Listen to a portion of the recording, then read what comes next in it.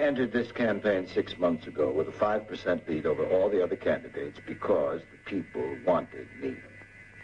They knew that with my scientific genius, I would lead them into an era of unprecedented abundance.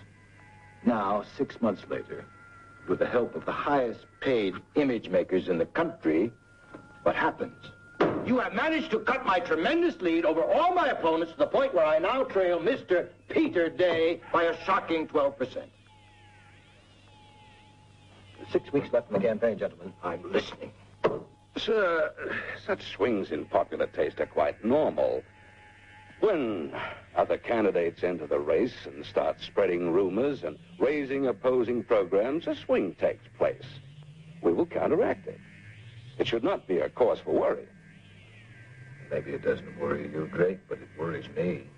I suggest you begin to worry hard. Sir, there is a strong anti-scientific trend amongst the people. They do not understand the complexities of science. They are afraid of losing contact with nature. Now, Mr. Peter Day has latched onto this. You, sir, stand for science, and that's great, of course. But we have to reshape your image, bring you closer to the people, to the everyday feelings of the people. Now, it's coming along fine, really, sir.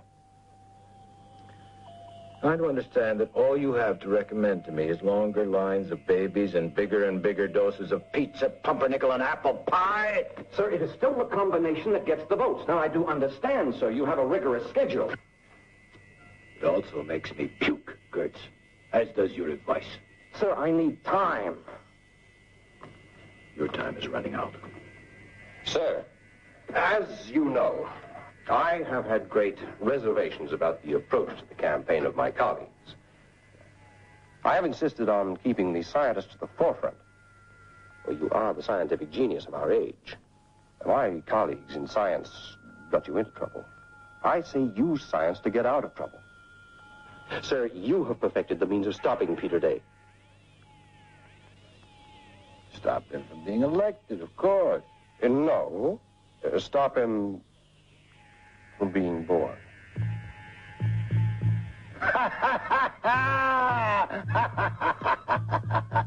you know what I've got here?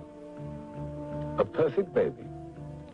It's really quite simple. You just, uh, well, you do something rather to the parents' genes and, um, perfect baby.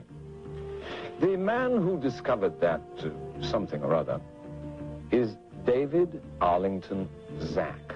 And he's running for president on the strength of it. His platform, a perfect future through science. Now, who would vote against perfection? Who would vote against Zak? Certainly a man who's done so much good for mankind couldn't possess a touch of evil.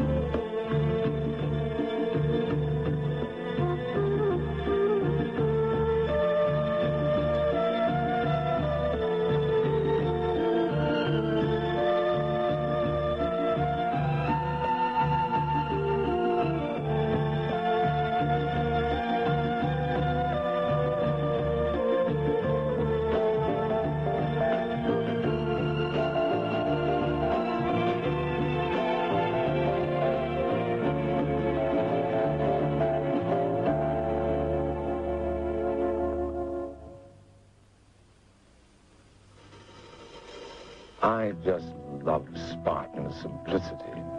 Space furniture, basic white outfits, and finally an end to ties. Mr. Zack, I promise you, will have an equally Spartan plot to get rid of his opponent. Let's look in again on the year 2020. Man's already born. How do you prevent something happening that's already happening? It's perfectly possible. Robertson, you really have flipped out from the rigors of this campaign. You need a complete rest. It would seem that your colleagues are completely baffled, Mr. Robertson. Well, naturally, sir. They're not scientists. And they're not familiar with your latest scientific achievement. The time machine, gentlemen.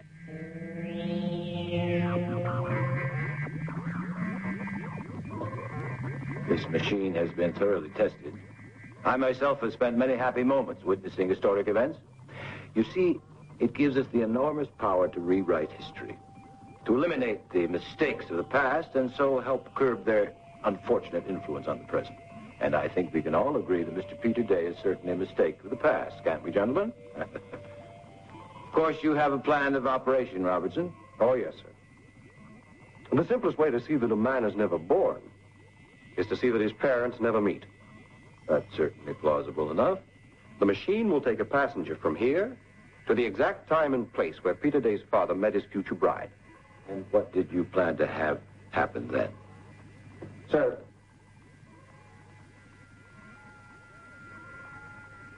Here are photos of Day's parents taken at the age when they met. Also a photograph of the restaurant where they met.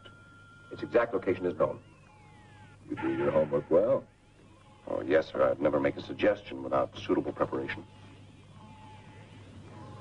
One detail. The exact time of the meeting? Uh, 12.40 p.m., July 11th, 1972. Oh, no miracle, sir. Just facts. All facts from the autobiography of Peter Day's father. He served as a general during the War of Attrition, achieved high political office. The few human moments of his life were treasured. He recorded in some detail how he picked up his wife. Picked up his wife? Yes. A love at first sight kind of thing. That is an extraordinary coincidence. Sir, your biography contains details of a similar meeting between your parents. She was waiting on a street corner. He drove by, nearly knocked her down. Stopped to check to see that she was all right, and uh, they never separated. Well, now, what's your plan? So far, it's excellent. Uh, we're, we're waiting for the two lovers to have their fatal meeting. We're on the exact spot now.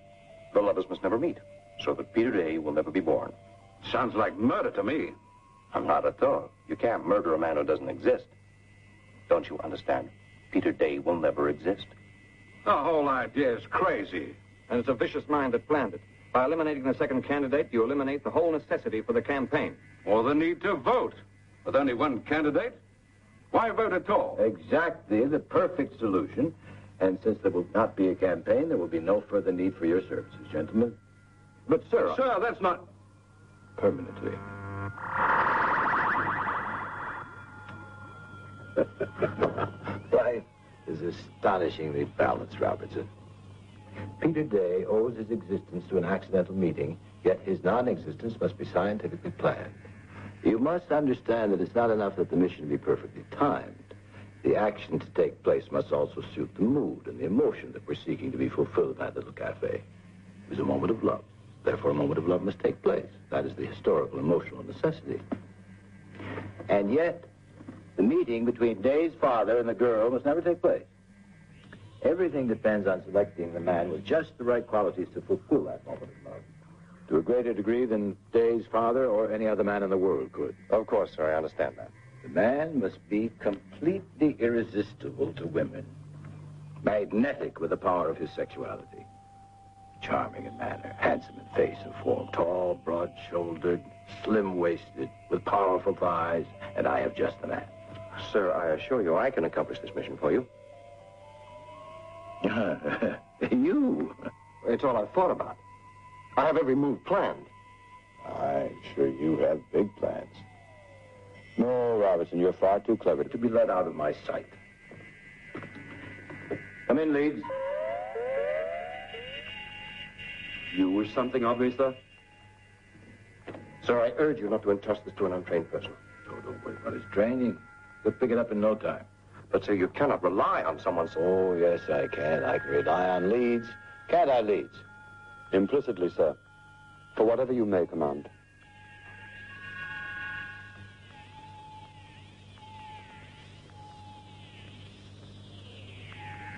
Yes, you've guessed it, Robertson. Would you mind showing him the proof? Not at all, sir. It is somewhat a matter of pride to me.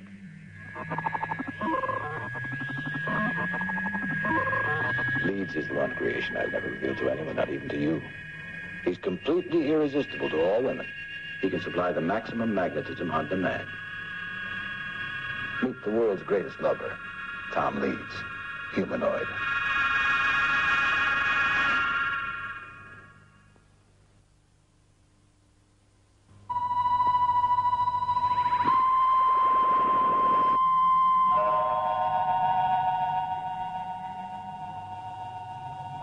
This 1972 costume.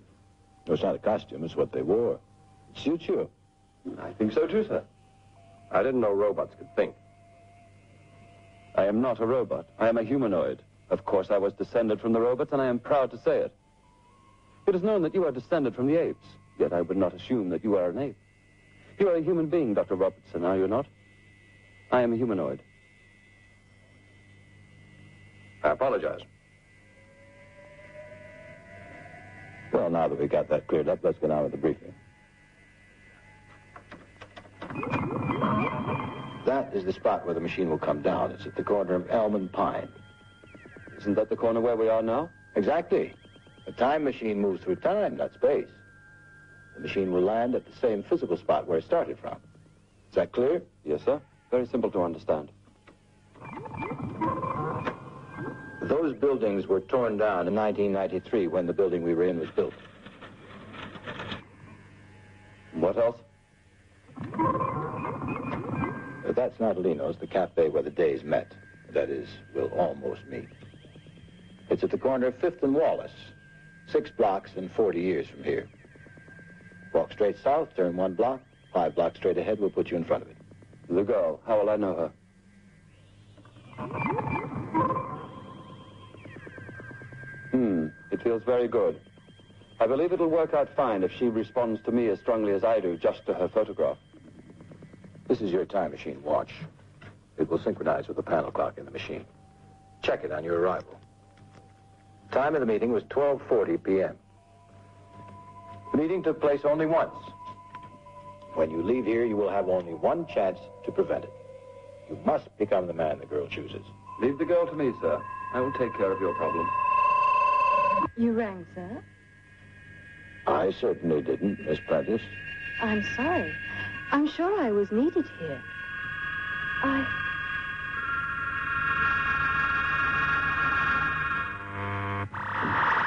Shall we get back to the briefing, gentlemen? Do you have anything to add to the briefing, Robertson? No, sir. Then the time has come for Leeds to reach back into the past and help us to change the future. Are you sure about the operation of the machine? Absolutely. This is your last chance to ask questions. I recorded all your instructions the first time you went through it. They feel very secure. Keep one thing in mind. The year is not 2020. Slight adjustments may have to be made to the woman of 1972. Be careful in your first approach. Test yourself, Brad. I wish you bon voyage. My political future is in your hands. Your future is safe with me, sir. Let's get up to the monitoring room.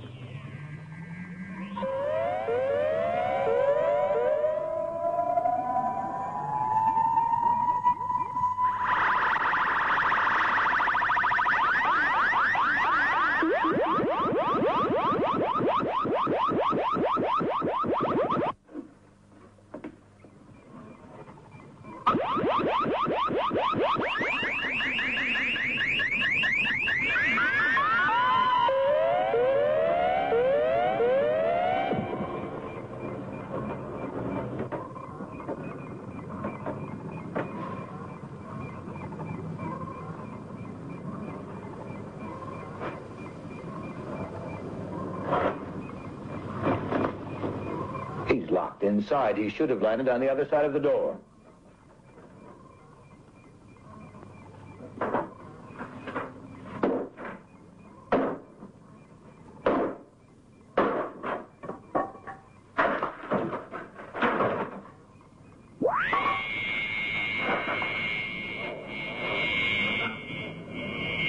You did this.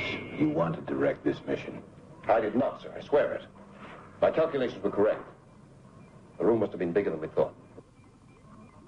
If he doesn't get there, my political future is dead.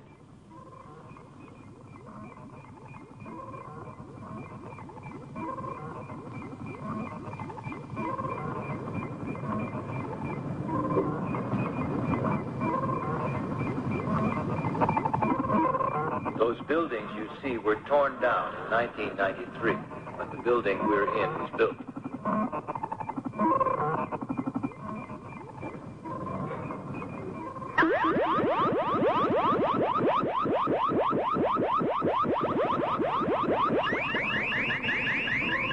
You never expected that, my clever scientist. You don't understand my humanoid. I have given him the ability to activate a memory bank and thereby to initiate action.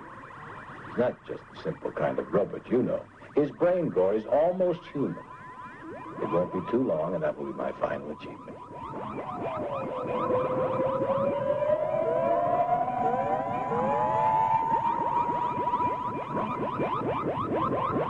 Great.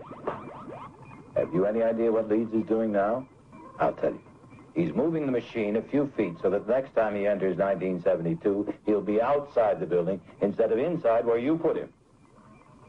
I imagine you're correct, sir. You damn right I'm correct.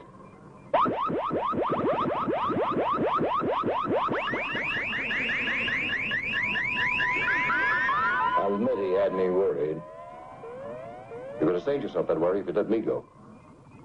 You don't have much respect for my insight into humans. You don't trust a single human being, do you? Do you? No, I guess not, sir.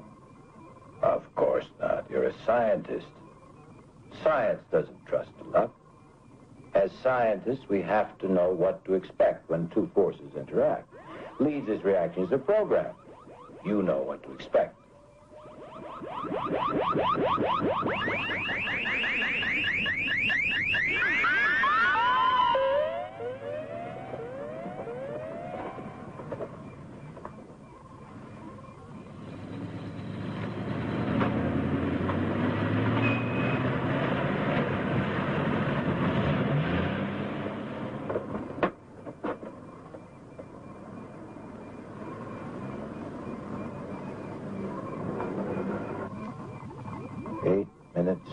30 seconds before 1240. It should give him just about enough time to uh, break the contact between Peter Day's father and the girl and get himself back inside the machine where we can see him by 1243. Do you agree, Robertson? Yeah, it sounds about right, sir.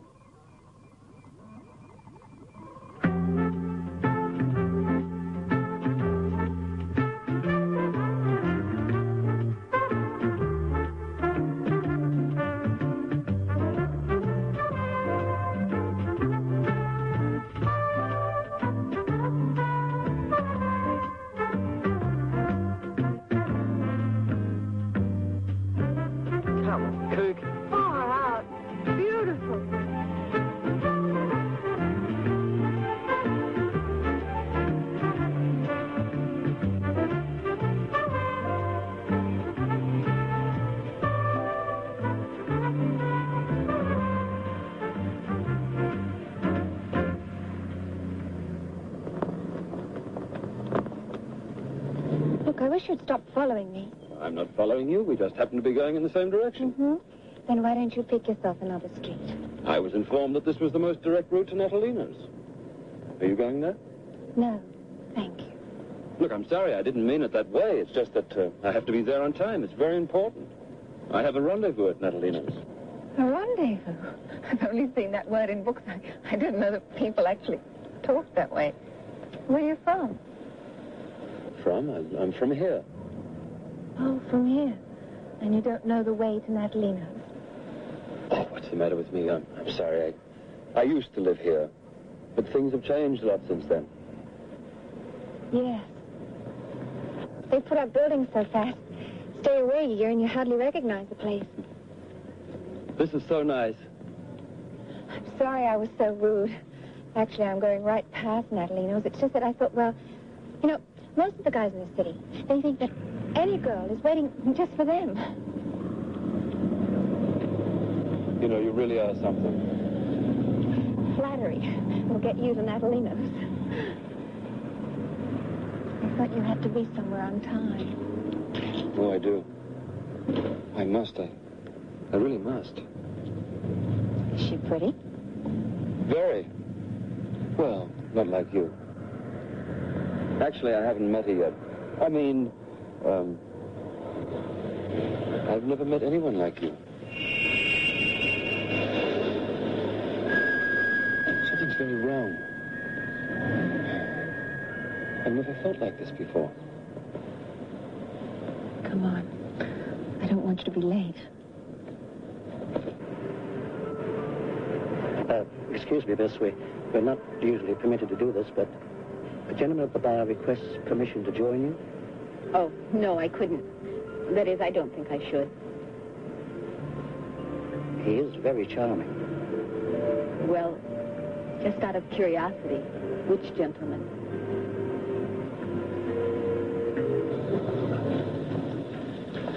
Well, there's Natalino's.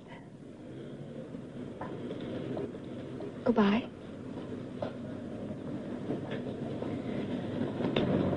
Maybe tomorrow? I'm, I'm glad we talked. You won't change your mind.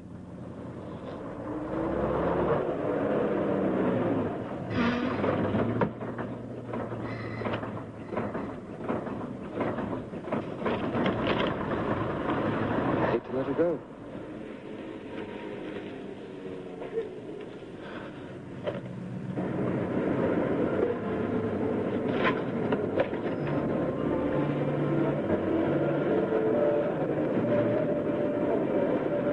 These are for you. You didn't even know I was here. Oh, yes, I did. Weren't you expecting me? No. How could I? You were expecting someone, were you not? I can see it in your eyes. Yes, I guess I was. Of course you were.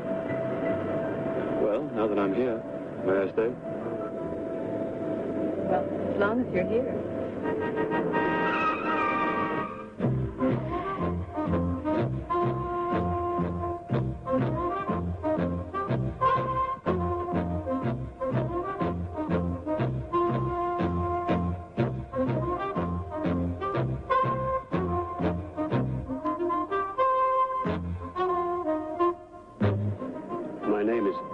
Day.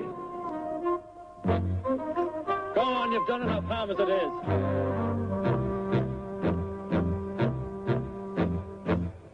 I said, go on, get out of here. He's late. He should be back inside the machine. Peter Day must be feeling a little peculiar about huh? Miserable fool probably wonders what's happening to him.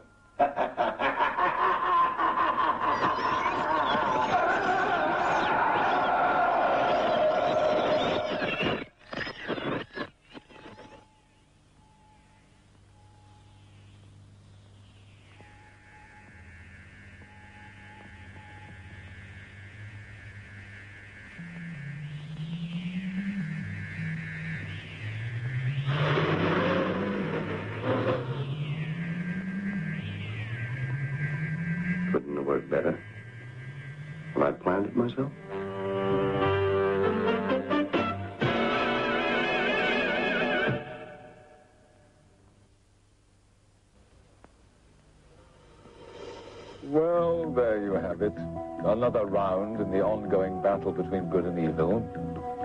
The case of David Arlington Zack. His evil was his own undoing. Zack himself was never born, so none of his inventions were ever invented, including the time machine, which disappeared from the spot, leaving Leeds happily programmed for 1972. Oh, um, if you're curious about the election, the candidates are now Peter Day and running against him, a young scientist. Right, our uh, Mr. Robertson. He arranged matters very neatly for himself. So, until we meet again, this is Anthony Quayle saying there is a touch of evil in all of us.